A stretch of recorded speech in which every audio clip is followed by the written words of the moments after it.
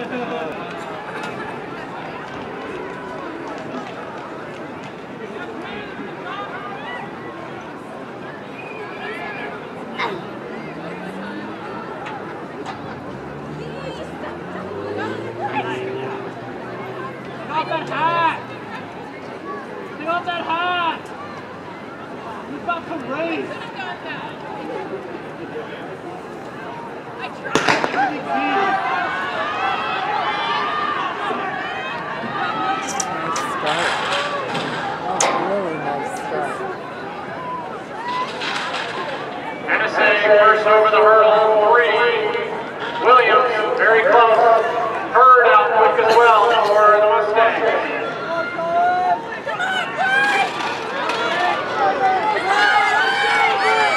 Let's go, boy.